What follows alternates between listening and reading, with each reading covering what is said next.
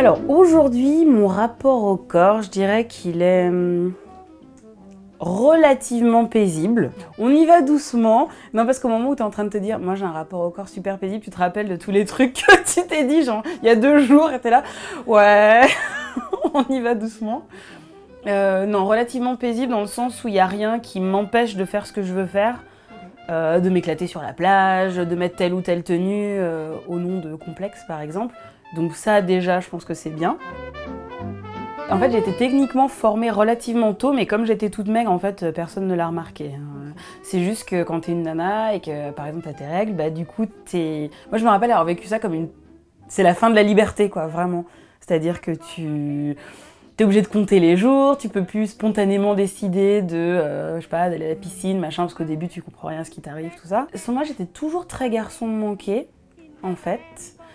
Et là, c'est devenu négatif en fait. Puisque bon, bah du coup, fallait être une vraie fille, porter des pantalons serrés, avoir des seins. euh. Et du coup, en fait, c'est aussi les moments où, comme j'étais dans un collège euh, à Paris où il y avait plein d'origines différentes, c'était aussi le moment où, par exemple, avoir les cheveux frisés, c'était mal vu. Tout d'un coup, on te renvoie au fait d'être métisse, euh, au fait d'avoir telle ou telle origine et sur ce que ça devrait donner comme silhouette, tout ça. Bah quand j'étais en primaire, j'étais dans une école, au début surtout, où il y avait que des petits français, des petites blondes avec un carré et une frange euh, que j'essaie de reproduire, ça s'est pas bien passé. Euh, mais du coup, on me disait ah t'es métisse, ok, mais ça restait des trucs très généraux, c'est-à-dire ah t'es métisse, donc du coup ça veut dire quoi Et puis ah euh, t'as ceci, t'as cela, mais c'était plus, euh, c'était pas vraiment poser des trucs, des grandes questions philosophiques, c'était plus factuel. Par contre, arrivé au collège, comme c'était un énorme melting pot, il y avait le côté où voilà, euh, t'es métisse, donc du coup tu dois avoir tel type de caractère, tu dois être forte, euh, tu dois être sportive, euh, tu dois être mince avec un cul bombé, tu vois, voilà quoi. Et, surtout, tu choisis à quel point tu veux être métisse en fait. Et moi, c'est le moment où je commençais à me dire, euh, soit tu te raidis les cheveux par exemple, soit tu portes vraiment, enfin, soit c'était l'époque où il fallait carrément porter des nattes et tout. euh, Il fallait l'exprimer vestimentairement parlant aussi. Enfin, voilà, c'était toutes sortes de trucs un peu. euh, Et moi, je me reconnaissais dans rien en particulier. Arrivé au lycée, ça plus été le côté où toutes les filles sont devenues vraiment des, des femmes. Et moi, je suis restée avec une silhouette de préado. J'avais pas de sang, j'avais pas de hanches, j'étais toute fine, je faisais euh, 10 kilos de moins que maintenant. euh. Ouais, ça m'a perturbée dans le sens où je me suis dit, mais en fait, j'ai commencé ma puberté tôt. Pourquoi est-ce que maintenant j'ai l'air d'une gamine? J'aurais dû faire euh, limite femme avant les autres. Enfin, je sais pas comment dire. En plus, ma croissance s'est arrêtée assez vite. Elle a repris après.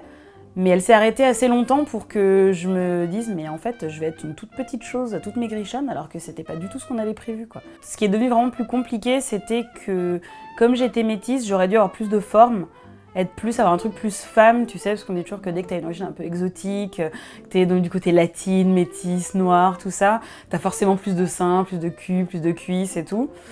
Et euh, ouais, ça, ça, c'est pas vraiment confirmé pour moi. quoi.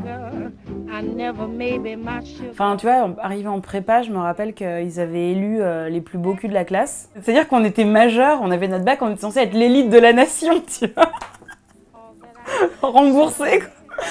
Et, euh, et du coup, le plus beau cul de la classe, c'était une nana de ma classe qui était euh, antillaise, mais très foncée de peau. Et la deuxième, c'était moi. Mais sauf que l'excuse des gens, c'était ouais, mais elle, elle est noire, donc euh, elle a un cul de noir, et toi, t'es métisse, donc t'as un semi-cul de métisse. Et surtout, ça sous-entendait que les filles blanches ne peuvent pas avoir un joli cul, donc c'est quand même très très sympa pour les autres. Enfin, moi, je me rappelle qu'à ce moment-là, je m'étais dit ah, mais du coup, c'est censé être un compliment.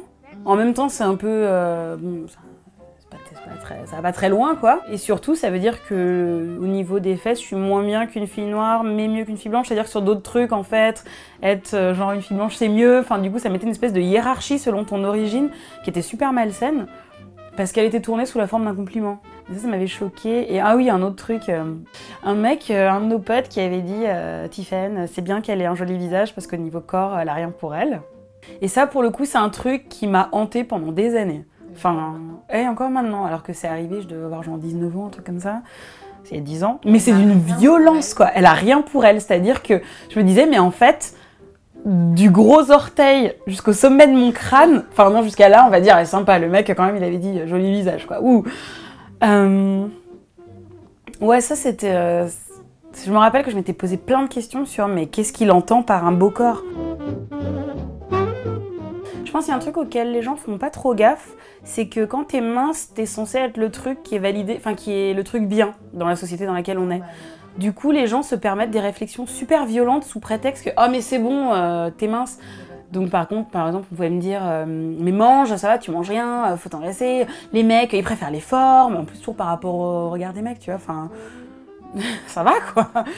Et euh, le but ultime, euh, pour, moi, c'est pas spécialement euh, le mariage et la procréation, quoi. Donc, même si c'est très bien aussi, hein, mais je veux dire, tu vois, j'entendais ça, j'étais super jeune, j'essayais déjà de passer mes partiels. pour le reste, on verra. C'est super violent, quoi. Et du coup, on me disait, mais mange Et J'étais là, mais je mange Enfin, j'ai jamais fait de régime de ma vie. En plus, surtout à cette époque-là, je bouffais comme une bâchette. Euh, Juste, j'étais faite comme ça. J'ai deux parents qui sont très minces naturellement et qui, à mon âge, étaient. Enfin, oui, à âge égal, euh, tu vois. euh, Ma mère, elle pesait 50 kilos toute mouillée. Mon père, il était comme ça. euh. Sous prétexte que t'es fine, on te dira très vite que t'es trop fine. Ou alors, on se permettra de faire des, blagues sur ton physique qui, en fait, à une époque où t'as quand même une estime de soi qui est assez fragile, ça te. Ouais, ça te hante un petit peu quand même. Enfin, moi, j'avais tout le temps le truc de me dire, mais voilà, si j'avais plus de forme, je serais plus, vue comme plus désirable, ou je serais plus accomplie, tu sais. Enfin, j'aurais un peu été euh, validée comme entrée dans l'âge adulte et tout. Puis à chaque fois qu'on me dit que t'es pas assez ou que t'es trop quelque chose, que ce soit trop ronde, trop petite, trop grande, c'est. On me dit que t'es pas bien. Un truc qui était un peu euh, bizarre en tant que métisse, c'était que du côté des mecs noirs, il y en a plein qui disaient Ah, c'est super parce que t'es métisse, du coup t'es claire. Donc là, t'es là. euh, Ça veut dire qu'une fille foncée, elle est pas belle. Enfin, ça veut dire que du coup, une fille plus claire, elle est mieux. Et aussi, euh, beaucoup de nanas dire Ouais, mais putain, de toute façon, euh, vous les métisses, vous la pétez grave, vous avez toujours l'impression d'être les plus belles. Euh, Genre en mode Non, mais c'est bon, t'es métisse, ça va, t'as pas de mérite. Et j'étais là, oula. Jamais dit ça Non mais surtout qu'en plus t'as envie de dire non mais la blague si tu savais ce que je me suis dit 10 minutes avant de sortir de chez moi devant ma glace tu serais mort de rire quoi. Enfin en fait ce qui me fait vachement plaisir maintenant c'est que il y beaucoup plus de visibilité de nanas noires euh, très très foncées par exemple ou euh, je sais pas noires albinos ou métisses rousses. Enfin là je parle surtout des filles mais ou de enfin de plein de types différents qui font que t'as pas un seul critère de beauté alors qu'avant j'ai l'impression qu'on essayait un peu de vendre dans les médias c'est bien si t'es un peu noir mais pas trop du coup, essayer d'idéaliser un idéal un peu métissé, c'est genre, ah, c'est bien, c'est exotique, mais en même temps, c'est pas effrayant, tu vois, parce que trop noir, on sait jamais. oh. Mais non, mais c'est ça que ça véhicule, tu vois, c'est super violent comme idée, quoi. Et du coup, toi, en tant que métisse, t'es là, bon, bah, mon corps, en fait, il est. euh, il est bien parce qu'il est dans l'entre-deux. Donc attention, glisse pas trop d'un côté ou de l'autre, euh, ce qui veut rien dire, quoi. Du coup, tu, te mets un espèce de truc en tête qui. Ouais, qui veut rien dire, qui est vide de sens, quoi. Voilà, faut faire la paix avec ça, quoi. Et avec euh, les trucs où les gens diront. euh, Enfin, tu vois, une fois, il y a un mec qui m'a dit Ah, t'as de la chance parce que t'as pas un trop gros nez. Genre, euh, son entendu, t'as pas un nez euh, négroïde Ouais, j'avais répondu parce que c'était vraiment voulu comme un compliment et je voulais vraiment que la personne comprenne. Parce qu'il y avait vraiment pas de mauvaise intention. Je me dis, bon, c'est pas la peine de lui tomber dessus parce que, en fait, le message passera pas. Mais juste quand tu me dis ça, déjà, t'es en train de dire que tous les gens noirs de ma famille ont un sale nez. euh, sympa mec et en plus c'est faux parce que non mais en plus ce qui est super ironique c'est du côté de ma mère qui est blanche ils ont des plus gros nez proportionnellement que du côté de mon père donc euh, t'es là, euh, arrêtez avec ce cliché navrant selon lequel noir égale gros nez, putain c'est chaud quoi. Et, euh, et du coup j'ai dit bah tu sais en même temps mon nez il est vraiment entre les deux en fait. Non mais j'ai dit mais tu sais t'as des gens qui ont un grand nez qui sont très beaux aussi et puis dire que parce que j'ai pas un nez trop noir c'est joli en fait c'est hyper offensant. Enfin je suis pas du genre à à monter sur mes grands chevaux pour rien, parce qu'il y a des fois, faut juste pas se vexer, faut se calmer. Mais il y a des fois où t'es là, mais ça c'est violent quoi. Enfin, t'es en train de dire, heureusement que t'as pas trop pris le côté noir, parce que t'as été sauvé par un peu de blanchitude là, parce que sinon, meuf, c'était chaud quoi.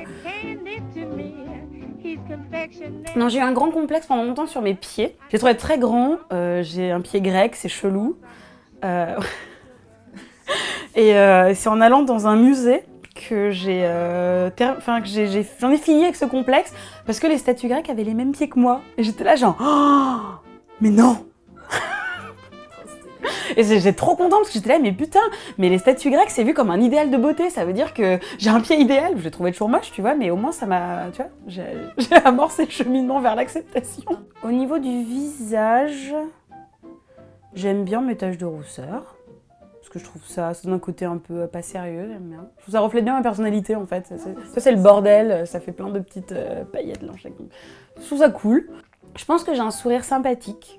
Parce qu'on m'a souvent dit que j'avais l'air euh, pas sympa quand je souriais pas. Du coup, on me dit, c'est bien quand tu souris, parce que t'as un visage un peu dur quand tu souris pas. Et je suis là, je suis, je suis gentille comme personne. Moi, j'ai surtout relativisé en fait. Passé énormément de temps à vouloir ressembler à tel truc, à vouloir être comme ci ou comme ça, et maintenant, je- j'estime qu'il faut que je mûrisse et qu'il y a des choses beaucoup plus importantes. Enfin, tu vois, t'as fait des chers corps où t'as des nanas qui ont des maladies ou qui ont survécu à des accidents hyper graves. Et, euh, pour revenir justement à le rapport que j'avais avec mon corps avant, qui était un rapport beaucoup plus. euh, mon corps me sert à faire des trucs, j'ai. J'essaye vraiment de me dire, voilà, ton corps, il te permet de faire plein de trucs. T'as plein de gens qui n'ont pas forcément cette chance-là. Toi, t'as la chance d'être en bonne santé, de, jamais être malade, euh, de pouvoir courir, voyager, euh, escalader, nager. euh. Et tant que t'es pas privé de ce truc-là, je pense que tu t'en rends pas compte et tu passes ton temps à te plaindre. Mais euh, voilà, mes grands pieds m'emmènent à plein d'endroits. Mes cuisses, elles sont un petit peu trop larges en goût, mais elles sont solides. Du coup, euh, je peux danser jusqu'à point d'heure, euh, petit shaké comme ça et tout. euh. Ouais, et puis c'est vrai que souvent, quand tu corresponds pas à un truc, tu te fais du mal pour correspondre à ce truc-là, quoi.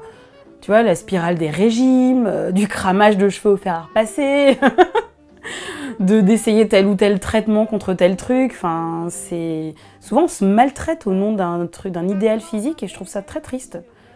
Voilà, j'ai envie de dire aux gens, c'est pas, je sais pas c'est un conseil, mais c'est juste, soyez un peu plus gentil avec vous-même. Voilà, un peu de douceur dans son de brut.